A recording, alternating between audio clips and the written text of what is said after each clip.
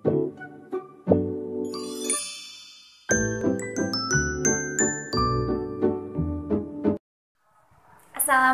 warahmatullahi wabarakatuh.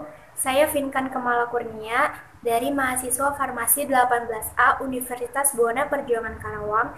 Di sini saya akan menjelaskan informasi tanaman obat yaitu Allium sativa atau yang biasa kita sebut dengan bawang putih.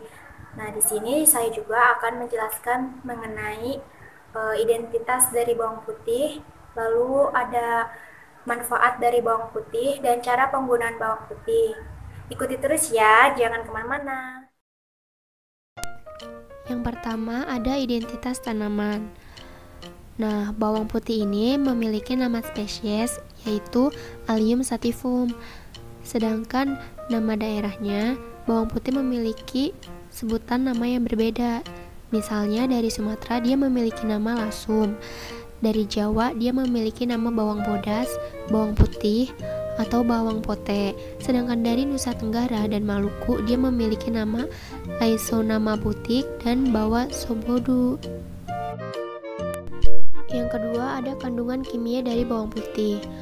Nah, jadi seperti yang ditemukan oleh Bailey dan Savalito tahun 1944, jadi dalam 100 gram bawang putih itu mengandung air, kalori, protein, lemak, karbohidrat, kalium, kalsium, fosfor, besi, vitamin B1, dan vitamin C.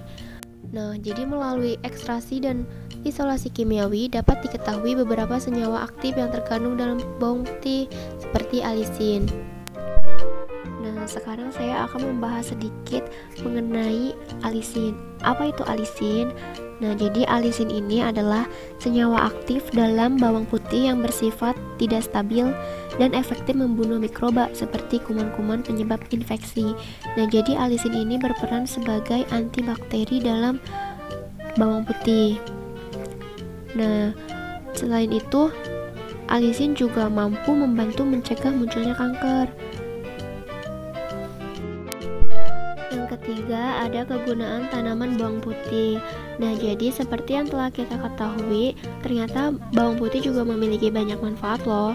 Salah satunya untuk mengobati penyakit seperti demam, batuk-batuk, infeksi telinga, radang, radang usus, radang lambung, jerawat, penyakit kurap, tekanan darah tinggi, dan gula darah tinggi. Nah, selain itu juga Bawang putih memiliki manfaat sebagai anti kanker.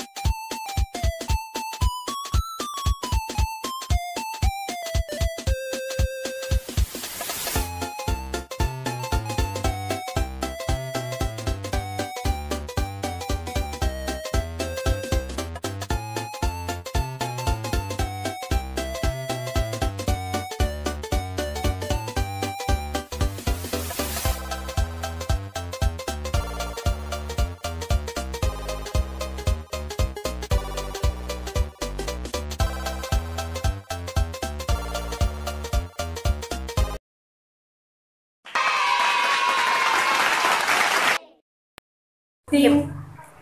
Sekian informasi mengenai bawang putih. Eh, kurang lebihnya mohon maaf. Terima kasih. Semoga bermanfaat. Bye-bye.